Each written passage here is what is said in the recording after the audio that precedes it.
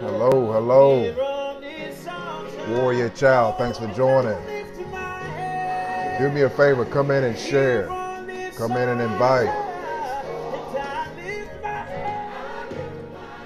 Here on this altar, so Lord, use my hands. God bless you. God bless you. Come on in, y'all. Share. I got a quick message today. Won't be before you long. Thank you, Lord. You're truly worthy. Praise the Lord. How you doing? God bless you. Let me see your profile. Not really. Warrior child. Thanks for joining. Thanks for joining. You look familiar. I just don't know you by name. anyway, I thank God for you. Thank you for coming in. Just need one of these in. I don't need two. But God bless y'all. Thank y'all for joining. Real quick teaching today. Just want to encourage you because we we in a hour where people are really called by God.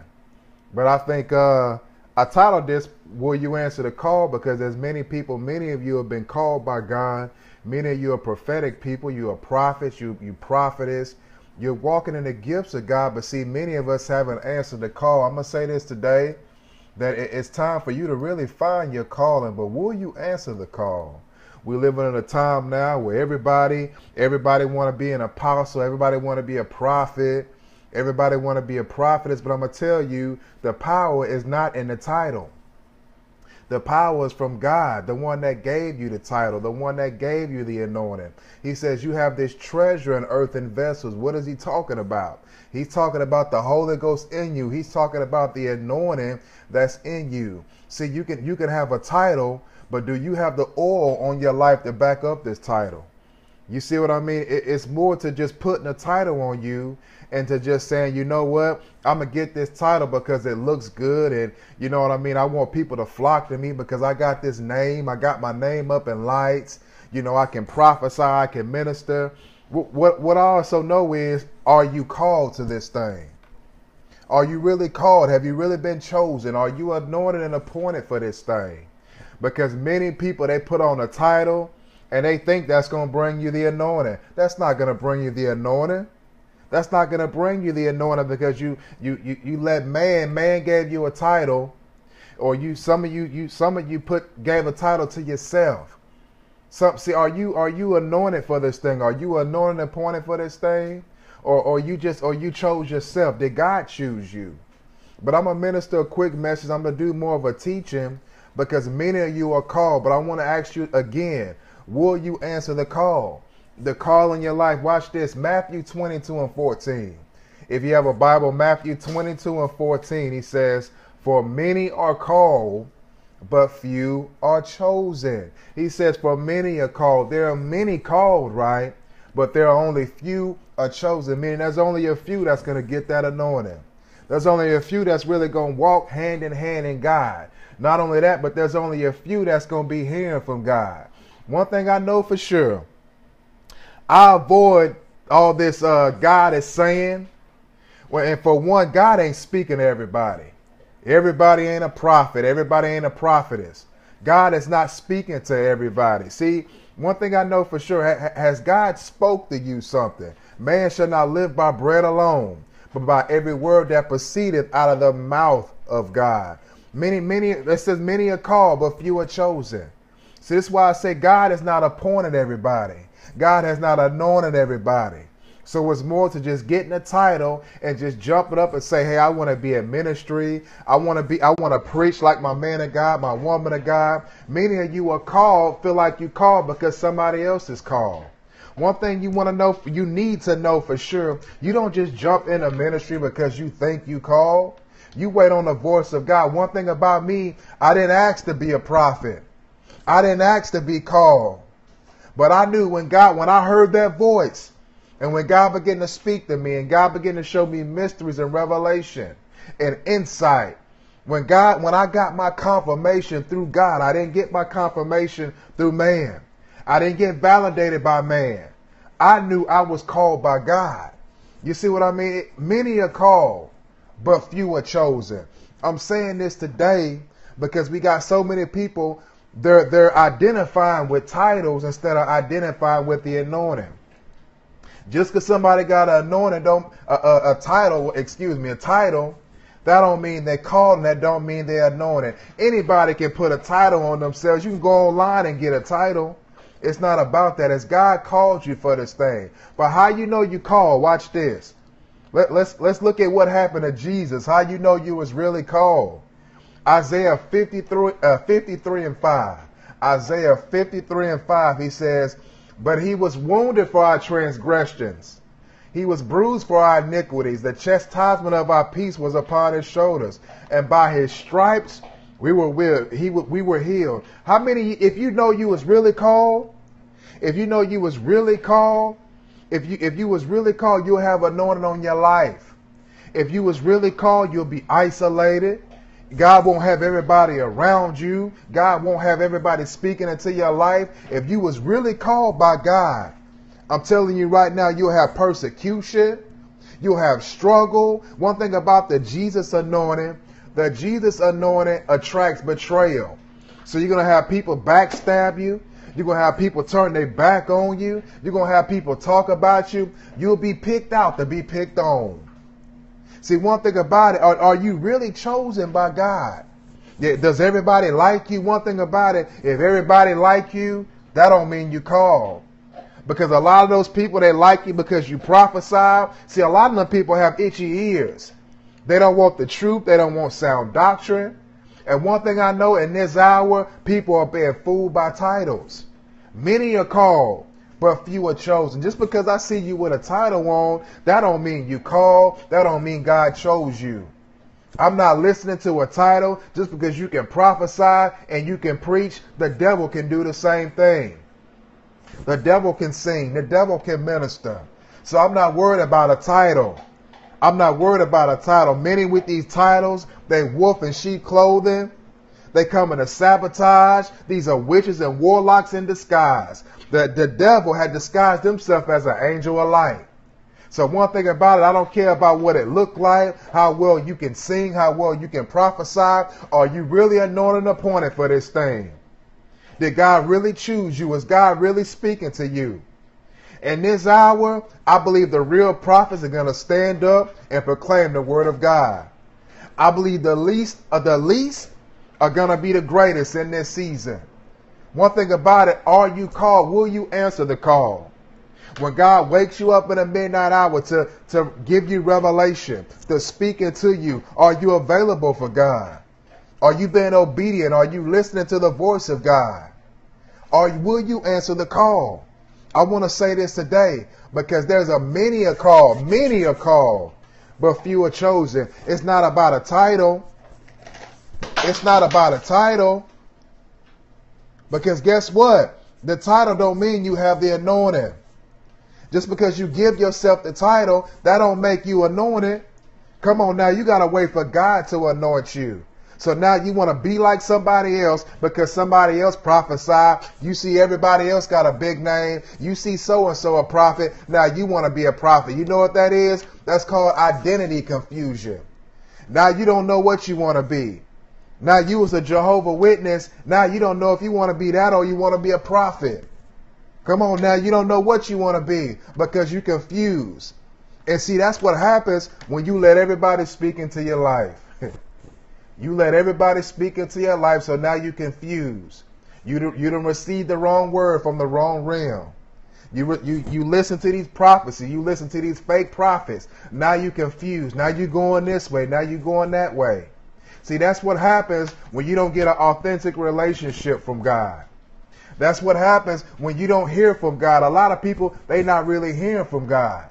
That's why I say I see your title and I see you prophesying, but where is that prophecy coming from? I don't know. That could be a familiar spirit speaking to you. Don't you realize some of these people, they not connected to God? These people connected to voodoo psychics. They connected to familiar spirits. They listen to stuff and it's not God. Some of these people got a ghost, but it's not the Holy Ghost. I don't know what that is. And see, the prophetic, one thing about the prophetic, people are being confused just because somebody can prophesy. Just because you can see somebody prophesy and lay hands and you see signs and wonders, guess what? The devil can operate out of signs and wonders. He can do that too. He can do that too. Many are called, but few are chosen. Did God anoint you, appoint you for this thing, or did man appoint you? Because they gave you a pat on the back and they said, "Oh, you sound good. You may be chosen. You can chosen. You can be gifted and not anointed. You can be gifted and not, not anointed. Don't you know some of these people right now they seem anointed, but they not. You know what that is? They got education. They got doctor degrees. They got bachelor degrees and master's degrees. They didn't go through the fire to get this anointing. One thing about ministry is birth uh, birth out of misery. It's birthed out of your pain. It's birthed out of you going through, from going through the trial, from being afflicted. But I know for sure it was good that I was afflicted. It was good that God brought me through the trial. It was good that God anointed and appointed me for this thing. Are you called? Are you called? Many are called, but few are chosen. Many are called. It's more to just a title. You got to get the anointing. You got to get that oil on your life. You got to get the anointing to flow through you. You got to be an oracle of God. Don't you want God to use you? How many y'all right now really saying, God, I want that anointing. God, I want you. God, I want you to possess me. I want to be your oracle. God, I want to be used by you. How many people are really, really seeking the anointing in this hour? Or you just title hungry. You just want a title. You just want to be seen. You just want to be seen. A lot of people, they just want to be seen. They want a paycheck. They want the people money. They're not in it for the gospel. But guess what? Although Jesus was preached, I count it all joy. As Paul said, some come in the gospel for good motives and bad motives. But the fact that Jesus Christ is preached, I rejoice because of that. Many are called, but few are chosen. Don't flock to a title. What does the fruit look like? Do they have the anointing? Some of these people have titles, but they not even anointed. Can't feel nothing. Got a title, but ain't got enough power to blow your nose. Laying hands on folks, they not feeling nothing. You prophesying, ain't nothing coming to pass. If you call yourself a prophet and you prophesying, at least something should come to pass. You should at least have some kind of wisdom, some kind of word. One thing about a prophet of God, you gonna know a true prophet. Not by because when they prophesy something come to pass, but by the fruit, how they live, about the things that they speak. Don't be confused by a title when it's out. Will you answer the call? Are you called? God didn't bring you through the fire for no reason. God didn't leave you like in that. He's not going to leave you in that situation. God had to bring you through to try you, to prove you. But the ones that stood the test, God to pour out an anointing. Will you answer the call? God has called you but will you answer it? So many of us are backing up from the call of God on our lives. We not listening to God. We forsook the word and we not even staying connected to God. If you really want to know if you chosen by God, if you really want to know, get in the face of God. Say, God, reveal my calling. Reveal what it is you have for me to do in this hour. Because God, I'm walking around confused. I don't know what I want to be. God, reveal who I am in you. One thing about it, when you find out who you are in God, when you find out who you are in God, you find your purpose. See, God wants to use you. Are you ready to be used for God? Are you willing to be a vessel of honor and not a vessel of dishonor? Are you willing to really let God possess you and speak through you? Don't you realize that God is not going to dwell in an unclean temple? So it's time to get delivered. It's time to really seek God like never before. Not one way, one foot in the world and one foot in the church. You still backbite, you gossiping, but still talking about you want to be used by God. Still talk about that God, listen, that you that you seeking God, but you still in the world. Don't you realize that those that are friends of the world are enemies of God? You have to really want God more than anything in this hour. It's time out for playing. It's not about a title. It's not about a show. God, I need your anointing. God, I need you more than. God, I need you to possess me. God, use me for your glory. How many want to be used for the glory? But in order to be used for the glory, you got to be connected to the glory. You got to stay connected to God. God is really seeking those who are seeking Him. Especially in this hour, God's looking to pour out His Spirit. God's looking to anoint nobodies, people that they talked about, people they downed you, they looked at you crazy, said you wasn't going to be nothing, said you wasn't going to amount to nothing. But wait until what God gets ready to do. Wait until God reveals His glory in your life. And the people that's connected to you, even they'll be blessed. Not only will they call you blessed, they're going to call those blessed that, that's connected to you. I need you to receive it. Because so many of us have been in that place that we're saying, God, are you going to use me? I'm seeing you use everybody else. What about me? What about me? God, have you forgotten me? God hasn't forgot you. God say, I'll never leave you nor forsake you. And the beginning is better than the end. And the end is better than the beginning. I said that backwards, but anyway. but listen, God is going to move in your life. God is going to move in your life. I don't care what it looks like. God, I want to know if am I called by you?